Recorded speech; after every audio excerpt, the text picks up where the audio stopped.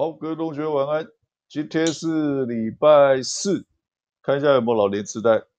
好，礼拜四，呃，防疫生活我就不讲了啊，因为今天过得跟以往并没有什么两样。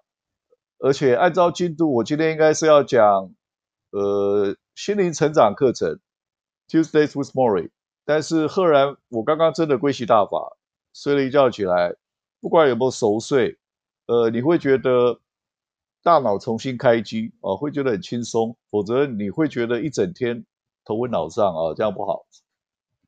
所以我是有习惯让呃头脑稍微重新把里面的哦垃圾清一清，废气排一排，类似那个意思啊。所以闭目养神、熟睡也好，小眯一下也好，半个小时、一个小时，对我的帮助蛮大的哦。这样子，好。所以有 E A E A 同学的两个问题，加上如是道精华演讲频道大师哦的问的问题，我这三个问题一起回答，大概就今天的小单元就可以功德圆满。所以我就把 Tuesdays with Mo 呃 Tuesdays with Mori 挪到明天，甚至呃其他的时间都可以，因为我不知道明天是不是还有问题。明天我有明治科大的实体课，所以我必须要到学校去。然后呢，上完回来应该也是接近晚餐时段。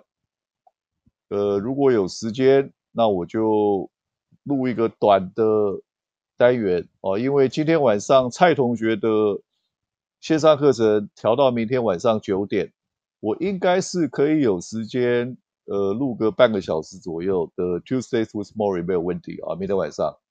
今天就当一个问题解答。好，E A E 二十二个小时讲大师，也许舟车劳顿，归习大法，速习之后还是没能完全恢复敏捷，因此口误把将军的大老板说成小布希。十十九点二十五分，但是不减损本集风采。我时常口误了，不是只有这一集，每一集几乎都有，而且还蛮多的。所以。呃，这是因为我想到哪讲到哪，有时候会跳痛。那呃，我自己也不知道为什么会把哦，等一下，那这个哦，有一只虫，好，我没有把它打死，我把它弹走。那呃，为什么前面讲老布希，中间后面也讲老布希，中间会跳成小布希？这个如果没有其他的属于灵学层面的东西的话，可能就是我自己跳痛。原因是什么？原因是因为 Colin Powell 在呃一九九一年波湾战争的时候，我刚好就在 Fort Benning，他在当参谋首长联席会议主席。我当然知道我在 Fort Benning 的时候，第一次波湾战争。美国总统是老布希，这个没有问题。小布希的爸爸，可是我再次到美国的时候，也就是两千年、两千零一年那个时候，是小布希当总统。那 Colin Powell 那个时候已经是国务卿了，刚好又发动第二次波湾战争。我这两次都有亲身参与的经验，所以我可能在讲的时候不小心跳到后面那那个那个地方去了啊，这中间，所以呃难免啦，年纪大了。有时候，呃，我们讲说，我口说我想，有时候我想的跟我讲的不一样啊，有有可能会跳动。这个我在各级里面多多少少都会有这种现象啊。年纪大了没办法，因为我不是照稿念，我是直接没有稿，想到哪讲到哪，这种状况人之常情都会有。所以我以前每一集都会加一个警语，结束前我都会讲。如果有口误、时空倒错、张冠李戴，同学自行更正。我后来讲久了，说想一想算了，同学应该已经习惯了。没想到 E A E A 的哦法眼、火眼金睛跟哦这种哦眼观四面、耳听八方，找到我这个地方有讲错啊，这样感谢 E A E A 同学提醒，也避免同学误会了啊。这这耶耶同学提出来，这个比较呃可能会造成同学误解的这种口误是要提出来讲一下。那这种口误我连我自己都没发现，因为我录完了就我就没有自己再仔细去听了。有时候自己听一听会发生发现口误，我会下一集的时候更正。如果只是那种小口误的话，我就不理他了啊。这样，同学如果发现我做一下更正，感谢耶耶大师。好，我按照时间来跳的话，应该是跳到十二个小时之前。如是到金华演讲频道的同学，大师讲，好像晚上五到六点都有小睡的习惯，不见得是五到六点，要看我那一天的作息有没有课，什么样的课，然后呢？我有没有呃用过餐？然后夏天我还要看室内温度会不会太热，太热睡不着。像我前几次室内体感温度四十度，那个我就睡不着，没办法睡。我就稍微起来哦，晚上有课，我就下午的时间先回答问题，或是利用空档。这要看我整天的 schedule 而定，看气温而定哦，这样不。不是一定都有五五点到六点都有小睡，不见得是五到六点，我一定几乎都会小睡一下，但时间不固定啊，这样子。好，看一下时间，六分钟开场，剩下的主要的时间可以来回答一下三个小时之前 D A E 大师讲的另外两个问题，跟军方有关的。不意外，国军忘记定时服药，健胃整肠，诸事不顺。报载今日在南部基地有士兵被战车炮管击伤，正装上叶克膜急救。如果大师人在归席，可以顺便转动法轮帮忙，呃，发功保佑。事实上，这个这个消息我在呃上午的时候，接近中午的时候，我就看到新闻快报。那。耶耶大师讲不意外，呃，这个真的是不意外啦。我之前每一集都讲陆海空三军轮流出事。同学，如果远的距离现在远的我们不讲，你往前推，呃，看你要推陆海空三军还是只推这个单位。如果只推这个单位，就是装甲老邱的兵科常常出事，一天到晚出事。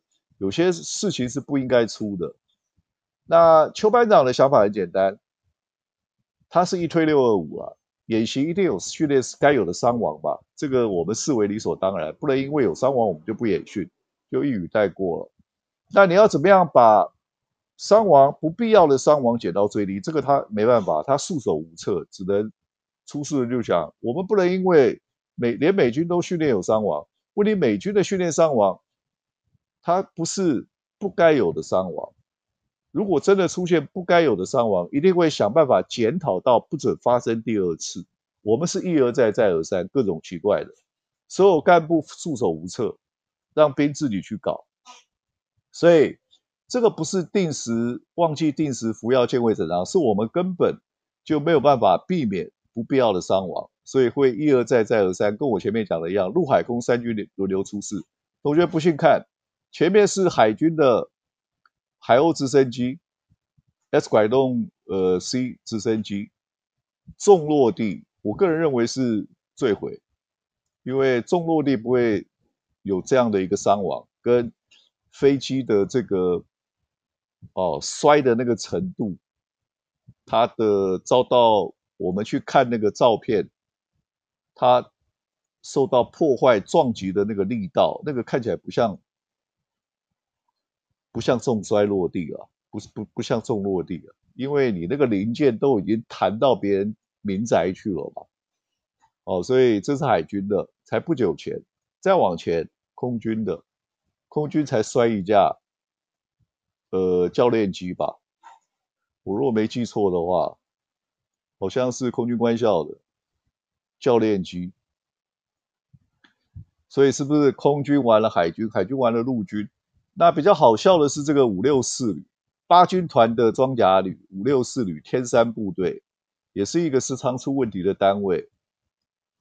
那他为什么会出事？我们不清楚，这要经过调查。但是有眼尖的网友发现，这部 CN 幺幺的勇虎战车，在二零一六年的八月十六号汉光演习，也就是大概这个期间，二零一六年同一个车型，同一个车号，往沙溪翻落死了四个。我们先不管什么抓交替什么，我们先不管这些比较灵学层面的，这个是什么原因？表示说，同样的事故。我们国军并没有检讨，我们也没有改进，我们也没有预防，所以同样一种 CM 幺幺的战车，二零一六年翻落往沙溪，老邱邱班长还是那时候是陆军司令，还去那边看了个半天，也不知道在看什么。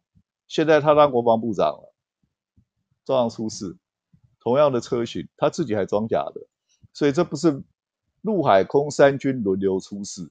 那如果按照这个轮法的话，是不是陆军完了换回到空军了？如果这样讲的话，机飞总动员熊厚基跑得快，或者是海军司令刘志斌跑得快，不干我的事啊！这样子，我之前还在跟呃 James 同学开玩笑，谈到一九四九年，呃，老共讲的淮海战役，跟我们讲的徐蚌会战。那个时候真正会打仗的白崇禧，保定三旗的老蒋呢，表面上是让白崇禧当国防部长，私底下跟参谋总长保定八旗炮科的，我如果没记错，保定八旗区别差多少？白崇禧保定三旗，呃，陈诚保定八旗，白崇禧贵系的。陈诚呢，湖南人，我如果没记错，呃，不是湖南人，浙江人。陈诚应该是浙浙江省青田县老蒋的同乡，考保定军校怎么考考不上，先想考留日日本士官学校，人家看了就叫他滚，那个样子看起来啊，我讲难听一点啦，那个那个基本上已经不是正常的身材，一看就知道这种人能读军校的话。三岁小孩都可以读读军校了，所以他被一直打枪，是通过很多管管道找他老爸，找很多的地方重量级人士，让他被取被取意思作弊的意思啊。进了保定军校第八期炮科，老蒋相信同乡，不相信贵系的白崇禧，所以。虽然白崇禧是国防部长，但是呢，在徐蚌会战前一路打败仗，徐徐蚌会战前并没有听白崇禧的建议，反而是跟参谋总长在国防部长下面两个人互通款曲，东搞西搞搞别的，架空白崇禧。所以等到徐蚌会战前，老蒋自己去把兵力变成两坨，不是集中兵力。是分割兵力两坨，哦，好像是，呃，华中又搞一个华北还是什么？好像不是华北，华北那时候已经败得一塌糊涂了，好像是华中跟华东，哦，总之切成两半。那白崇禧一看，他跟陈诚两个搞出来的国防部长白白崇禧居然不知道被搞成这个样子。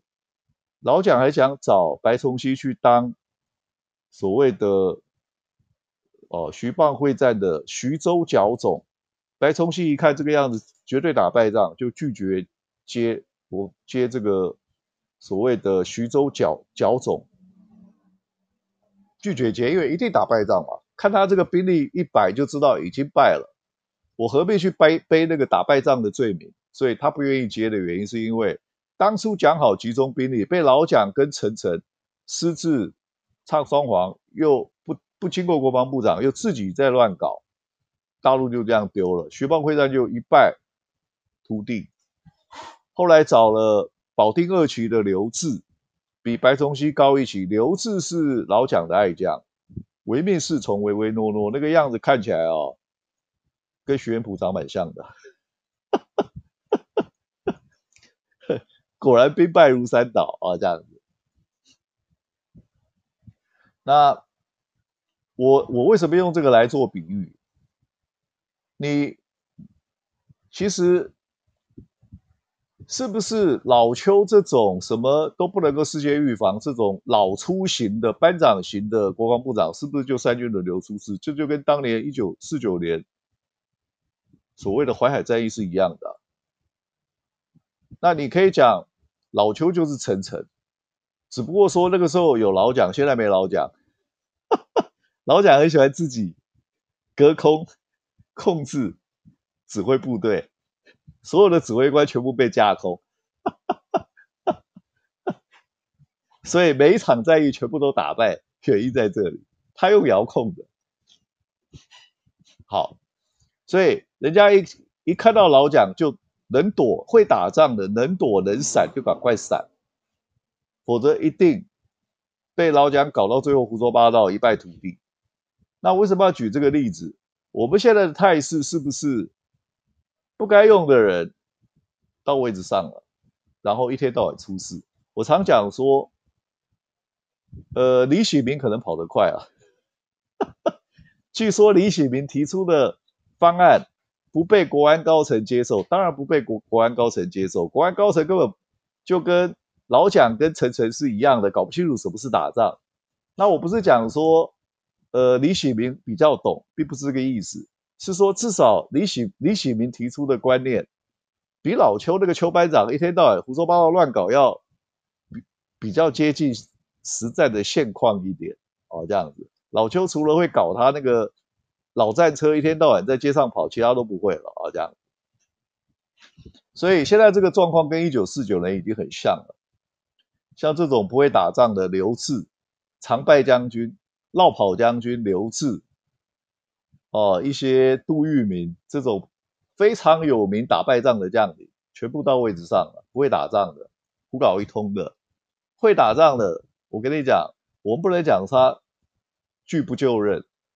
你那个态势摆出来就是会打败仗的样子，他为什么要去背那个黑锅啊？所以白崇禧不就任也是有道理，而且白崇禧一看就知道这个兵力部署是一定打败仗的，兵力会被分割击灭嘛。他不就任也是对的，因为他被老蒋架空了。当那个国防部长准备背黑锅，然后呢，真正跟参谋总长陈诚两个在那边互通款曲，乱搞胡搞瞎搞乱搞。白崇禧又不是第一天认识老蒋，从蒋桂战争的时候，蒋桂战争在一九三零年以前，一九二八年的时候就已经认识老蒋了吧？他知道他专门胡搞瞎搞嘛，哦这样子。所以当然拒不就任了。比较倒霉的是李宗仁当上了代理总统之后，呃，也从香港转到逃到美国。呃，白崇禧应该是被赶鸭子上架，搞来台湾的，因为他做了一个叫毛人凤军统局，先把杨虎城全家灭门，而且听说是在美国的势力范围灭门。就是告诉你们这些不愿意来的将领说，你不来，下场跟杨虎城一样。白崇禧只好惜家带眷的跑来台湾，等于是被半威胁状态跑来台湾的。否则他留在广西就好了。他本来就是广西的军阀第二号，李宗仁下面就他了，在下面才是黄绍竑或是李品仙。哦，这个这个四个。李品仙跟呃那个所谓的黄，好像叫黄少红的，都是保定军校的。好，那我刚刚扯了这么多，不是忘记定时服药、健胃整肠、诸事不顺，是你用的人不对嘛？国安高层，国安高层搞不清楚状况。我不是讲顾立雄啊，顾立雄本来就是，本来就是律师事务所合伙人，本来。穿的爬哩爬哩的当经管会主委，比较看起来像样子。去当国安高层确实很怪了，跟陈明通跑去当国安局长，说不定马上就要被台大的呃伦理委员会叫过去啊问问案情了。所以搞了半天，国安高层原来是台大的伦理委员会。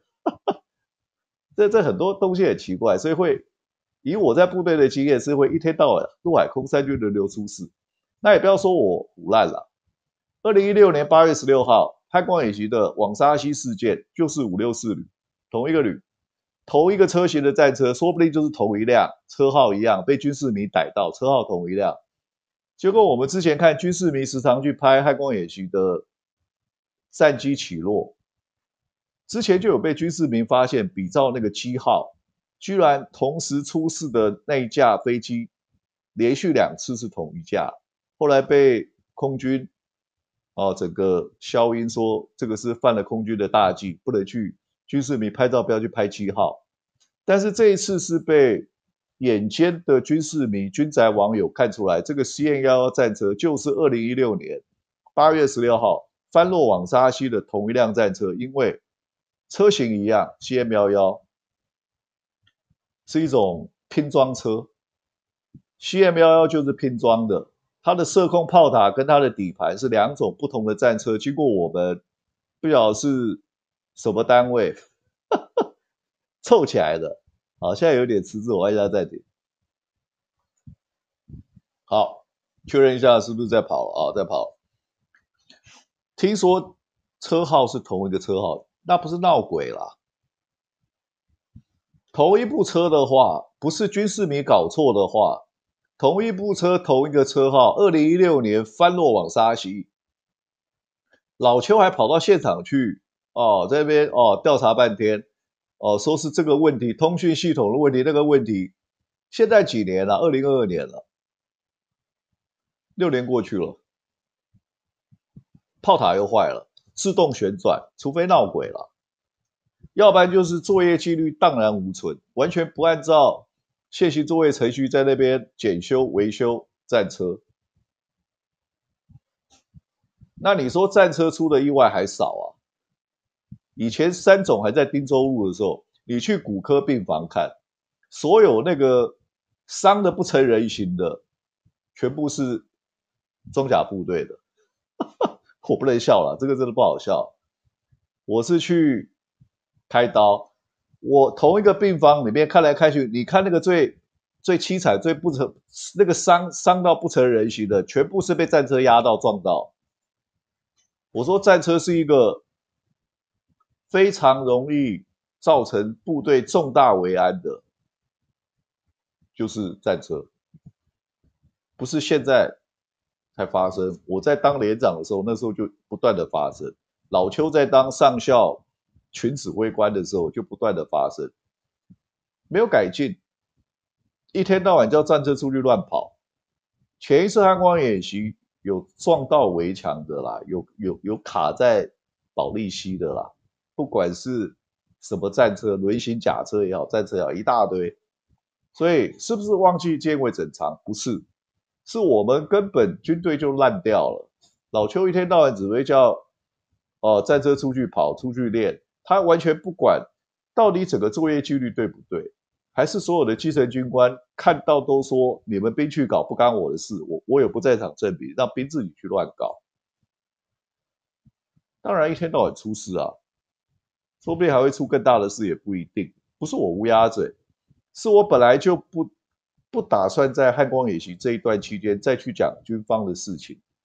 这一点，并同学可以作证。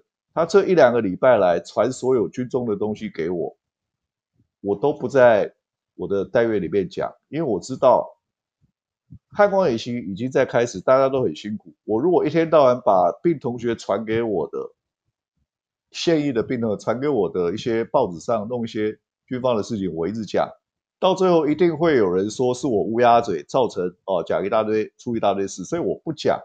并同学可以作证，我没有我没有讲，我只在 line 上面给他回一回哦，两个人在那边传一下 line 好玩，我没有在我的 YouTube 上面特别去讲怎么样，很多很多一大堆事啊。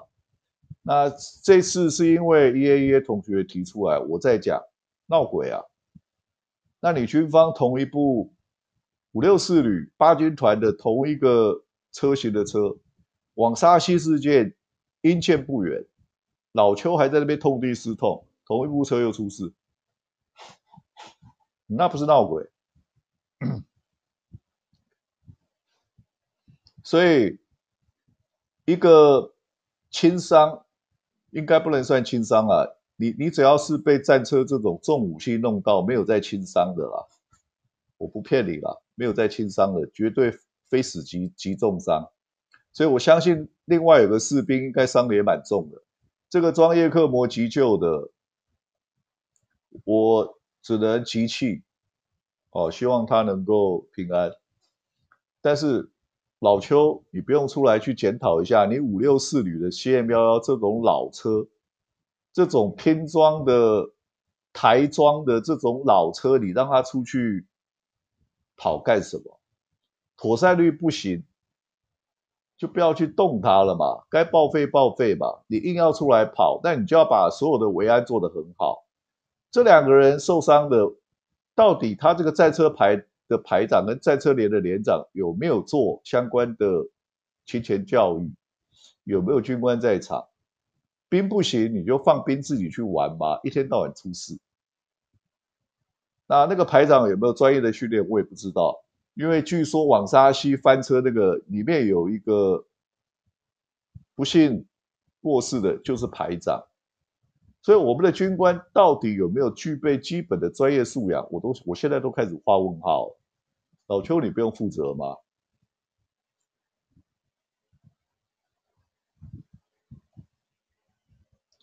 所以我的短评是这样子啊，第一个，所有的。并不是演习一定有伤亡，所以我们可以承受这样的伤亡。你要看你的伤亡合不合理，是可避免的伤亡还是不能避免的伤亡。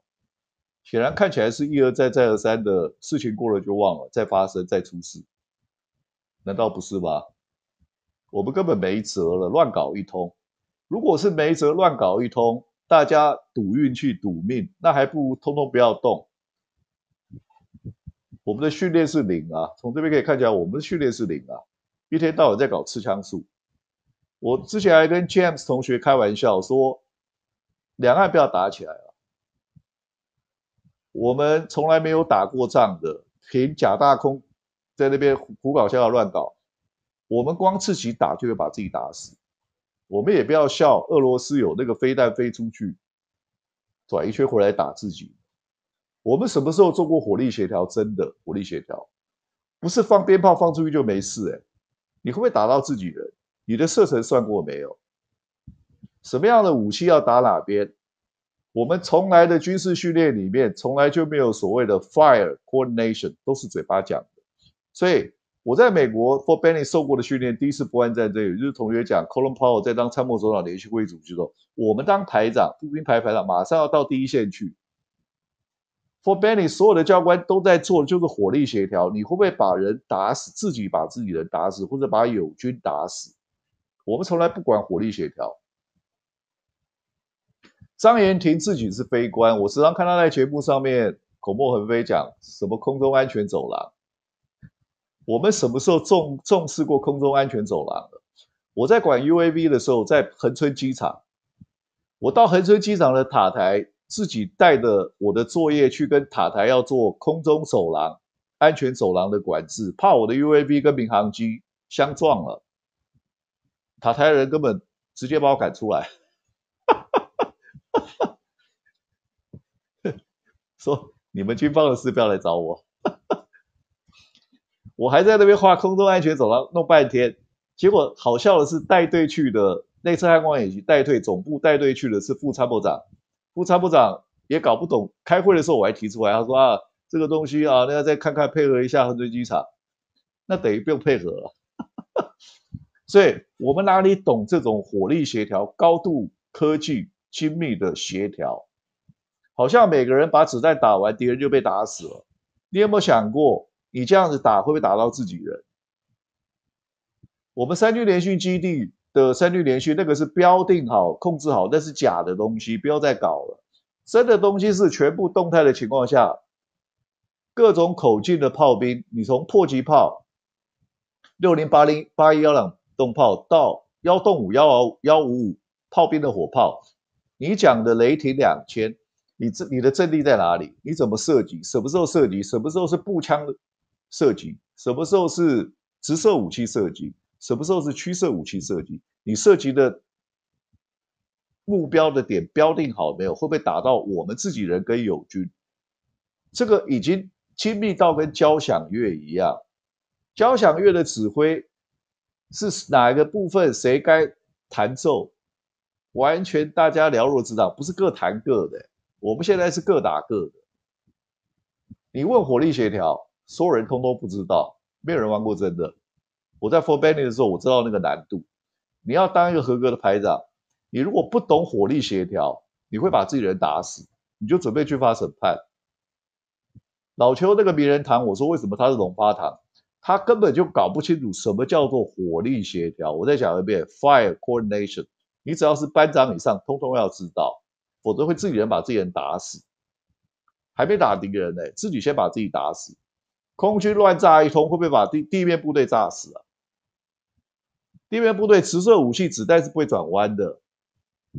你会不会打到前面的部队、侧面的部队啊？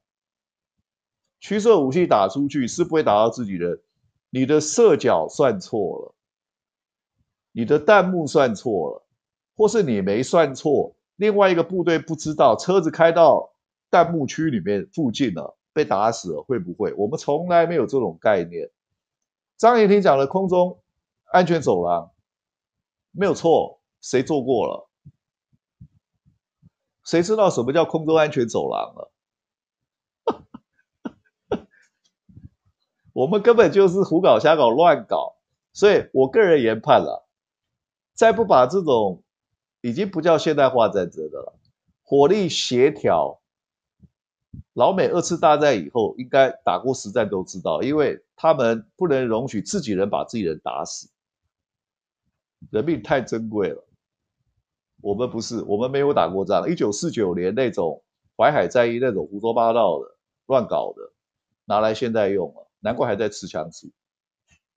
所以我建议老邱啊，这些人该回家洗洗睡了。自己人把自己人打死，没人会原谅你了。你被老公打死还可以骂老公，自己人把自己人打死，根本搞不清楚什么叫火力资源协调，火力协调根本就不知道，乱打一通。难怪李喜明会讲说，呃，这个我提出来的国安高层哦，呃，不能接受，所以我就呃，我会我去弹钢琴好了。他其实他他是对的，弹钢琴不会误机。好，我并没有呃开玩笑的意思了。我我内心也很沉痛啊，但是我讲的话没有人听过。那不听的原因有很多。第一个，在位置上的人，他知道我懂，我讲到重点了。但是不懂的人到位置上了，你总不能跟他他已经升了上将，升了中将，总不能讲说没有错，我不懂。呃，那那个老农民懂，当然不能这样讲。重点是以前打顺风球、打假球，现在要玩真的怎么办？开始乱搞，所以一天到晚出事。第二个是说，该懂军事的人不懂军事，一天到晚只会看名嘴、听名嘴讲，或是自己看武侠小说，自己去胡思乱想、空想、发挥创意。军事的东西没有什么创意，军事的东西你要有创意，必须跟我一样，实务经验太丰富了，不是国内的实务经验。我讲过，我参加两次跟老美在一起合作过两次波湾战争，结果下场是被老邱逼退。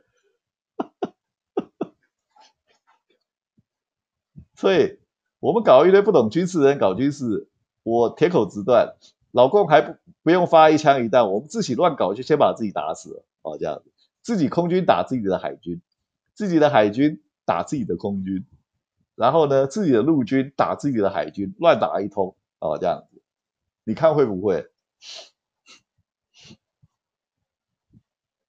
好，我觉得有蚊子飞到鼻子里，我也太厉害了。这算不算是龟息大法吐纳的一种？哦，这样子。不过为什么会有蚊子跟虫飞进来？因为我现在把纱门打开，外面用电风扇吹风进来，让它形成屋内的循环，所以一有灯，外面的虫全部飞进来了。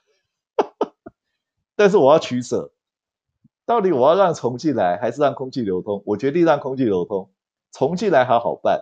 哦，我拿那个。喷喷小黑虫的那个喷一喷，涂一涂，啊，凉快为主。那个那个虫多一点，乱飞哦，还好一点。我待会有买那个喷小小飞蚊的，我来喷一喷就好。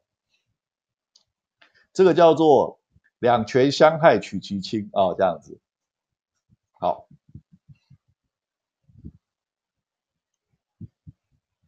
我的短评完了啦，希望有解答同学的问题啦。如果呃，我我我说实话了，我这种自由发挥没有稿的啊，没有读稿机的啊，也没有写好草稿，我真的不知道我在讲什么，讲的不好，同学原谅啊，或是帮我再更正一下。但我要先讲，我所有讲的都是想到哪讲到哪，如果有口误，如果有时空倒错，如果有。哦，这种张冠李戴，同学自行更正啊。我讲的是那个道理啊，有时候人事实力不见得都那么吻合。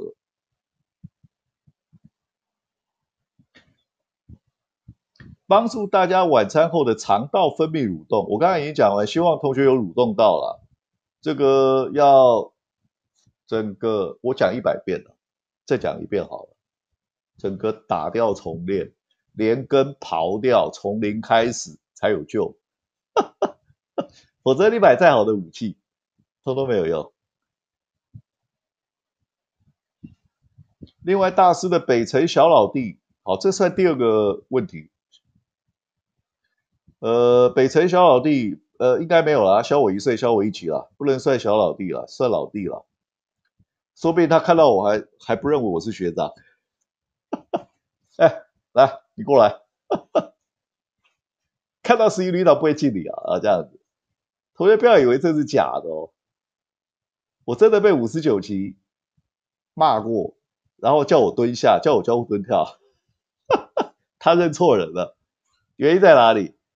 呃，应该不是于北辰，但是实习旅部的，我们在部校，部校穿的军服跟官校不一样，部校穿的是草绿服，但是呢，四年级这个会拿掉。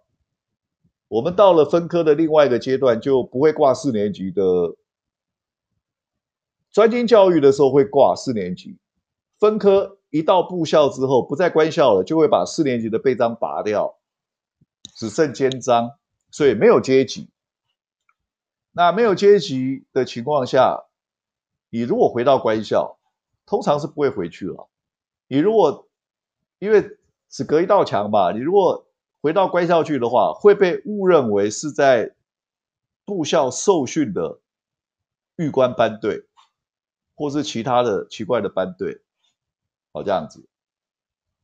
那第二种是说，官校一年级的学生还在官校一年级的时候，他们还没有开始，刚刚入伍完，还没有开始穿上军便服，那个时候有一段时间，一年级新生也会先穿草绿服。总之就是没有阶级，哦，这样子。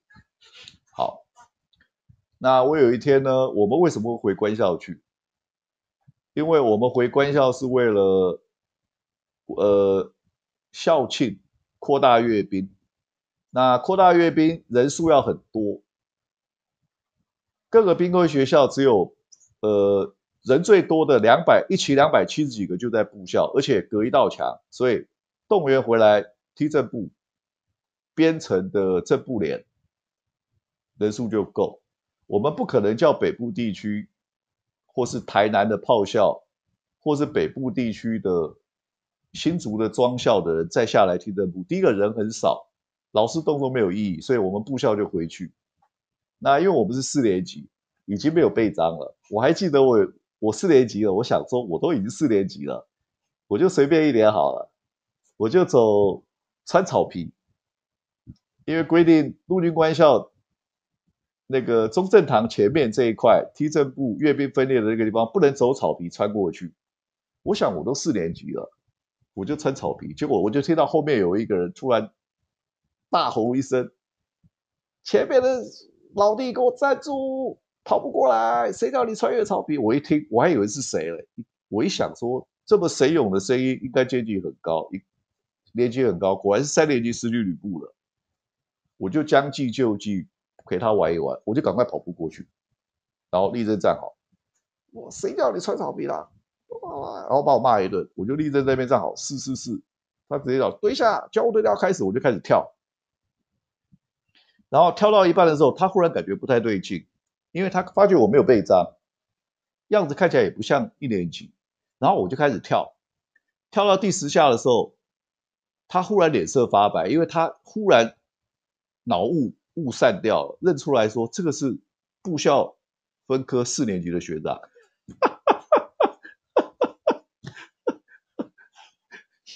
我还没跳完，他就跪在地上，抱歉，抱歉，我认错人了。这次于北辰他们骑上，还好不是于北辰。好，这个这个插花一下。大师的北辰老弟常在节目说鬼故事，他有很多节目了，他自己有自己的节目，他其实弄得有声有色的。那不晓得会不会跟李正浩一样出来哦，也选一下议员壮壮胆了，因为他他确实很有心为民喉舌、为民服务了。他这个从很早就有这样的一个企图心，而且往这个方向迈进。因为你要选议员，后面第二步选立委，你先要有地方知名度或是全国知名度比较好一点。所以他目前经营的，不管他自己的呃节目。网络的节目，他经营的电台，从广播电台直播的节目，一路到各个电台跑通告，几乎都看得到他。我我拿遥控器转到每一台都看得到他，所所有的争论节目都有他，网络也是，所以他已经做的很不错了，做的蛮好的。但是他讲鬼故事，应该是他自己的节目讲鬼故事了，比方。整排的人消失，跑到另一个时空，全因以为逃兵。这个我认为是胡乱啊，因为你说要说整个排的人消失，一个排大概如果有四个班的话，就是四十多个人哦，消失以为逃兵，这个不太可能发生在台湾的部队，因为类似这种极度负能量灵异事件，在大陆才有可能。为什么？大陆从清朝，应该严格讲从明朝。清朝虽然有盛世，但是难免少不了征战啊，不管是跟呃所谓的不是关内的、关外的异族哦，蒙古等等一些的作战，一直到清朝末年，战争就很太平天国开始了，就很很严重了哦，打的那个规模就很大，死伤人数也很多。同学看的《投名状》里面那个就是跟太平天国有关的。所以我们才会听到曾国藩、曾国荃、湘军、淮军、八旗绿营等等，哦，就是大哥是对的，土匪也跑出来，哦，开始当当兵了，当官了。所以那个清朝末年太平天国中叶以后，太平天国一直到民国成立，整个中整个战争死了多少人在军中，然后呢？民国成立之后，又开始有军阀割据，各个军阀又开始打，包含土匪。土匪没有因为民国成立之后土匪消失了。以西北、以东北军来讲，张作霖以前就是土匪，他他在东北的山里面就是土匪起家的，所以他认识了一堆马贼。他在东北做大的时候，成为东北军的北洋军阀。里面的要角的时候，其实很多都是他山里面的土匪也抓来当官了。哦，听我们之前讲汤玉麟骑老虎，那个就是任何省省主席军阀起家的哦，这样子。所以因为人死了很多，阴魂不散，就会有灵异事件，跟阴就是所谓的阴魂不散有关系。台湾倒还好，没有那么大规模的死伤，还好。那就更不要讲，呃，对日抗战、八年抗战，然后呢，跟老共、国共内战一路打打到台湾来，所以在大陆当兵，在大陆打过仗的，碰到的灵异事件特别多。哦，我老爸以前在世的时候，光讲他以前在大陆当兵那一段的灵异故事讲给我听，我就已经听了好多了。台湾没有。所以你说整个牌消失跑到另外一个时空，有可能是在大陆，而且他们司空见惯，大陆的老兵，他们都知道怎么去应付这样的事情，因为经验太丰富了。死人看太多了，那个那个一死就你去看《投名状》一开始的那个死伤的样子，只不过那个时候是哦，大家用刀用枪，哦，那个叫做冷兵器在玩，后来变成子弹，也有大刀队了。听说西北军冯玉祥的部队特别喜欢耍大刀队啊，这样子。所以北辰老弟这个故事我没听过，但是你说整排的人消失跑到另外一个时空，我在空降旅那种阴气这这么重的我都没碰过。北辰老弟也许不相信啊，因为他太幸福了，他是装甲的。以前我当排长的时候，一路当到副连长，我只要留守，我的手枪绝对不锁在枪柜里面，我的手枪是上膛，放在枕头下面。为什么？因为有时候兵会发疯，会对着军官开枪哦。像我晚上都很晚睡，为什么？我开着灯看书。第一个，我本来就晚睡；第二个，我全连的东西都弄完，大概也布册什么都批完，大概也都晚上一点了。我旁边就是安全士官桌，你就会看到那个安全士官在你流动哨的安全士官，有一个站着不能动，一个会跑来跑去。那有时候那个站着不能动的也会稍微动一动，你就会看到你窗户是关起来的，你开盏台灯，你就会看到门口的安全士官在你窗前晃来晃去，拿着枪晃来晃去，然后会忽然把枪举起来，对着你的台灯的位置，然后出枪四秒，好像要对你射击。那老兵呢？你不知道他在梦游，还是他真的很想把你干掉？所以，我为什么床底下不是床底下，我的枕头下面会放我的配枪？原因是因为，如果他真的对我射击，我就会从船上弹起来，要跟他对战。这种对战以前在我们空降旅很多，跟演西部片一样，真实发生的。一个呃，一个逃兵准备要逃兵，西界逃亡，跟连长。因为西列逃亡唯一死刑，连长可能要被关哦，军法审判哦，所以那个连长在后面叫他不要跑，他拿着枪往外跑，就在全旅的中旅中央的那个草皮上面，两个人互相开枪，跟演戏部片一样。那个逃兵拿拿着步枪对连长射击，连长掏出手枪上膛，对着那个兵射击，然后呢滚翻找隐蔽掩蔽，然后那个旅长就在旅长室。的楼上面听到枪响，跑到窗户把窗户打开一看，怎么有两个人在演西部片？砰砰啊，这样子，实弹的，赶快叫通知战情啊！一分钟带兵班马上冲过来加入战局啊！这样子，这种状况以前常常有，所以即便我在空降旅，这种时常开枪对战的这种状况，都还没碰到缺缺缺列。整个排消失了没有？我们以前空降部队夸张到什么地步？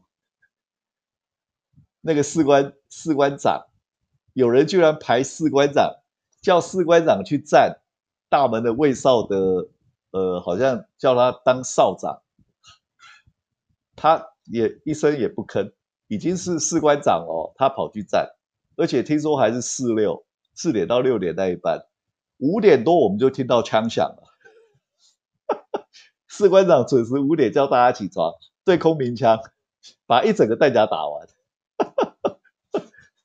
我们以前空降旅是这样的，你八字不够硬不要来，吓都把你吓死啊！这样子。所以我为什么讲说我长时间一听到有异状会从床上弹起来？没事，兵可能对着你开枪，直接打排长室啊！这样。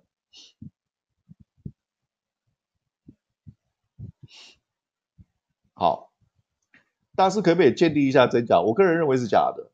大陆多，因为死伤的惨重的程度够够多，这种例子很多，所以老兵很很熟悉，他们知道怎么处理。我们这个没有打仗嘛，伤亡不够多，不会有这类似这种冤所谓所谓阴魂不散的冤魂。老兵处理这个，他们很常见。大陆来的，他们司空见惯。我举一个，我举两个真实的例子。我看我讲多久？四十九分钟。我好像讲，我要讲一个例子啊，四十九分钟了。我念陆军官校的时候，放暑假回台北，我就找我以前呃国中的好同学，他那个时候好像已经进了成功高中了，就暑假大家出来玩叙叙旧，然后他就说，因为他老爸是潘耀明的同学，三十一期的，从小被他老爸军事化管理，他他就很向往、很熟悉军事的生活。但是呢，又体体位又很差了，哦，这样有时候走路可能同手同脚都有可能。他就说：“哎，陆军官校好不好玩？”我说：“很好玩啊。”他说：“哎，那这样好了，你教我喊口令好了，因为我老爸哦，每次骂我，以前都要把我早上起来喊口令。”我说：“好啊，我不能在这边喊了，在这边喊听不到。”他说：“那我们到青年公园喊。”我说：“好，那我们到青年公园，我们就特别坐车到青年公园，找了一个。”高的地方下面就是种了一堆树，树林。我说：“哎，这边喊可以，因为因为没有东西挡到，也没有杂音。”我就开始教他怎么喊口令，立正、稍息，什么哦，敬礼、七步走啊，各种口令，我喊给他看，然后叫他他跟着喊，练习喊口令，有点像你看那个小毕的故事哦，那个小毕被当选哦，不知道是升旗还是什么，要去喊口令哦，这样子。他老爸教他怎么喊口令，跟那个很像，但是呢，一喊忘记时间了。从太阳下山开始练习喊口令，在青年公园那个地方喊到太阳下山，我们还在喊。可是太阳下山了，黑漆漆一片。青年公园里面的警卫、老警察，那个大陆来的当兵转到警察那个老警察，听到有人讲说，森林里面，青年公园的森林里面有听到军人在喊口令，太不寻常了。其实是我带着我那个小学跟国中同学在那边练口令，而且我喊的口令是陆军官校标准的口令，一听就知道那个是经过严格训练的。我们喊到太阳下山，已经天黑了，还在喊的时候，我就听到树林那边我看到手电筒的光，我我就听到那个有一个人在里面喊，用用口音很重的话讲：“统治啊！”回家了，不要喊了，同志啊，回家了。他的意思是说，同志啊，回家了，那么晚了，不要喊了。为什么？他这个是什么？他这个是标准的。他以前在大陆打仗的时候，他虽然是个，我后来发现是个老警察，因为他拿手电筒过来，用手电筒不是照我们，是照着他自己说，我我我我是我是警察了，晚上了要休息了，不要再喊了。他他是用他在大陆的时候碰到相同的死掉，突然听到鬼在喊口令的那个方式在对对我讲话，他以为我是鬼，哈 哈我还记得那一幕，他拿着手电筒过来，筒子啊，回家了，不要喊了，啊这样子，天使安了，回家了，啊这样子，他就一直讲一直讲。我就跟我同学讲说，哎，对的，我们都忘记时间了，已经很晚了，我们不要喊了，我们我们回去了。我还跟他招招手，然后赶快回去。他真的以为我们是鬼，那个很有经验，他不会怕，他碰到很多次了，他就会循着声音过来，拿着手电筒过来说，可以了，可以回去了，够了，这么晚了，要休息了啊，类似这样。那现在的年轻人，就算听到有人喊口令，他可能也不知道是怎么回事。老的警察，大陆打仗从军人转到警界的，他知道，好这样子，他知道怎么去应对，他经验很丰富，碰到太多了，所以我鉴定在国内一定是假的。这个如果说是大陆发生在台湾讲，但是你要注明这是在大陆发生，不是在台湾发生，那有可能，好这样子。好，我讲完了，居然讲了五十几分钟，太久了，哦，同学抱歉，呃，我的再次重申，我刚刚是插科打诨，戏剧效果，如果有讲的，哦，时空倒错、张冠李戴、口误、脑误等等，同学自行更正，哦，我们纯粹是大家愉快，希望能够解答同学的问题。那我也讲过，汉光演习期间，我不想去讲军事的东西了。如果同学真的问，我会稍微讲；同学不问，我不会去碰啊。啊，因为因为我怕节外生枝。哦，我乱讲弄一弄，老邱又干掉刘坚，你恶习不改，还在那边啊胡说八道乱讲，要唱衰我们，要抹黑我们的努力。我我我不想被他误会了。他他反正已经认定我是一个十恶不赦的啊坏胚子。我也我也我其实已经死猪不怕开水烫，但是我真的怕其他的同学误会啊，以为我老是在打击国军哦，我我我不会再去扯这些。所以同学问我稍微讲一下，同学不问我不会主动去讲。好，今天希望能够满足所有同学的需求。我们明天视状况回到呃心理成长这个单元，呃，Tuesdays with Mori，明天再见，晚安。